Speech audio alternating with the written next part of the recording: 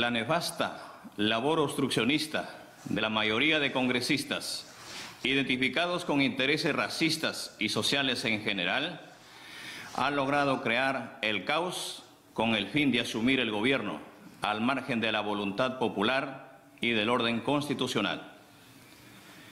Llevamos más de 16 meses de continua y obcecada campaña de ataque sin cuartel a la institución presidencial, situación nunca antes vista en la historia peruana.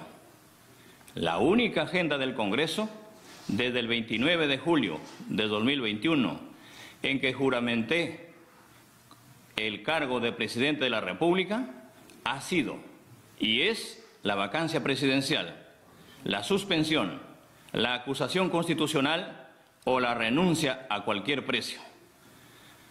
Para esa mayoría congresal que representa los intereses de los grandes monopolios y oligopolios, no es posible que un campesino gobierne al país y lo haga con preferencia a la satisfacción de acuciantes necesidades de la población más vulnerable, no atendida en 200 años de vida republicana.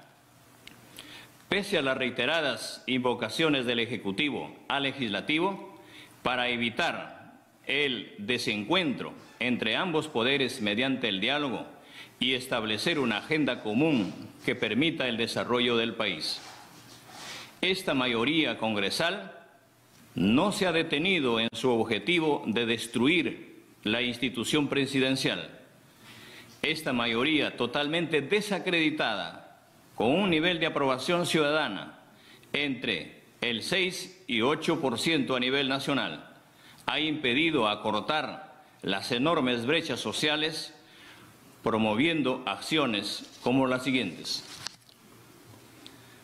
El Ejecutivo ha enviado al Congreso más de 70 proyectos de ley de interés nacional con el objetivo de beneficiar a los sectores más vulnerables de la población, como la masificación del gas, la creación del, ministro, del Ministerio de Ciencia, Tecnología e Innovación, el ingreso libre a las universidades, la segunda reforma agraria, la reforma tributaria, la reforma del sistema de justicia, la eliminación de la actividad económica subsidiaria del Estado, la prohibición de monopolios, los que promueven la reactivación económica, entre otros, que no han sido atendidos. El Congreso pretendió procesar al presidente por traición a la patria, con argumentos insostenibles y absurdos de una pléyade de supuestos juristas constitucionalistas. El Congreso, sin pruebas, imputa al presidente comisión de delitos, muchas veces con las solas afirmaciones hechas en la prensa mercenaria, corrupta y cínica, que injuria, difama y calumnia con un absoluto libertinaje. Sin embargo, el Congreso no investiga y sanciona actos delictivos de sus propios integrantes.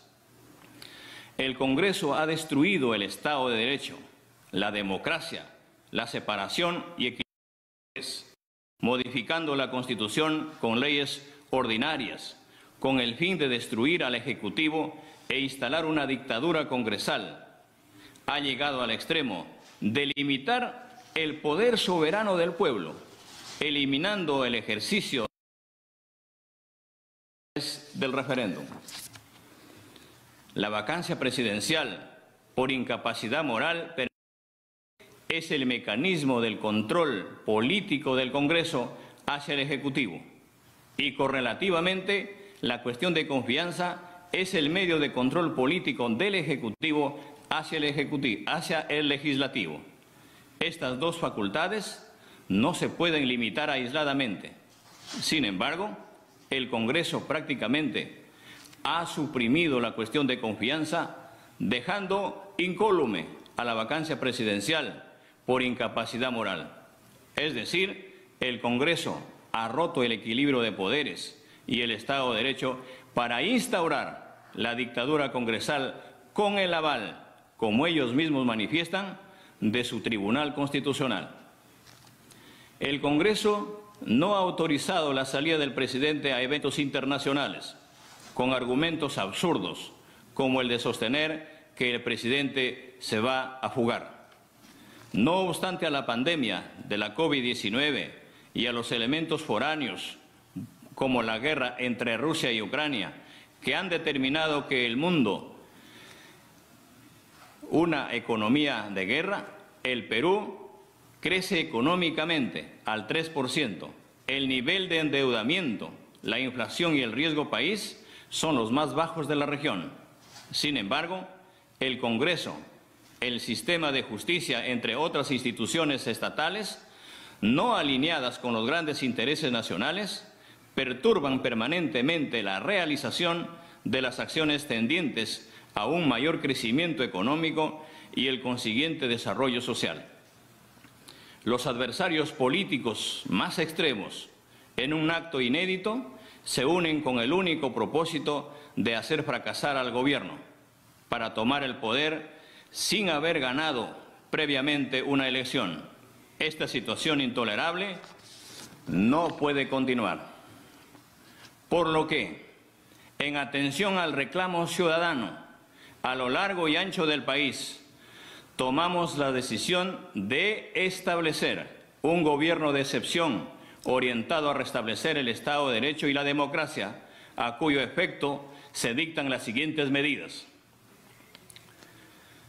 Disolver temporalmente el Congreso de la República e instaurar un gobierno de emergencia excepcional. Convocar en el más breve plazo a elecciones para un nuevo Congreso con facultades constituyentes para elaborar una nueva Constitución en un plazo no mayor de nueve meses. A partir de la fecha y hasta que se instaure el nuevo, el nuevo Congreso de la República, se gobernará mediante decretos ley.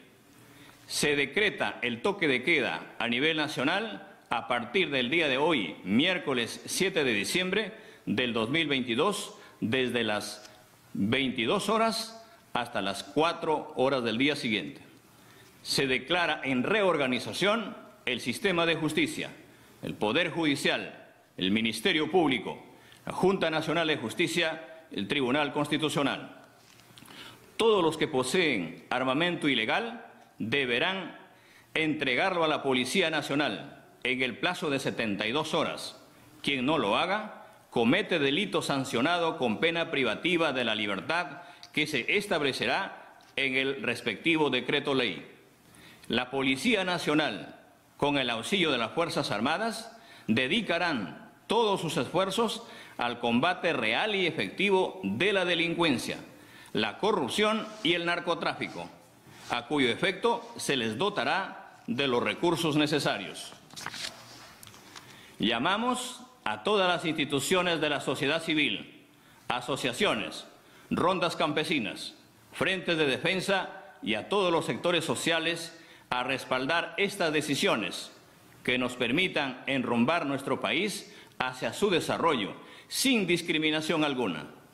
Estamos comunicando a la OEA la decisión tomada en atención al artículo 27 de la Convención Americana de Derechos Humanos. En este interregno, tal como lo hemos venido pregonando y haciendo desde el inicio. Se respetará escrupulosamente el modelo económico basado en una economía social de mercado, que se sustenta en el principio que señala tanto mercado como, tanto mercado como sea posible y tanto Estado como sea necesario. Es decir, se respeta y garantiza la propiedad privada, la iniciativa privada, la libertad de empresa con una participación activa del Estado en protección de los derechos de los trabajadores, la prohibición de los monopolios, oligopolios y toda posición dominante, conservando el medio ambiente y protección de las poblaciones vulnerables. ¡Viva el Perú!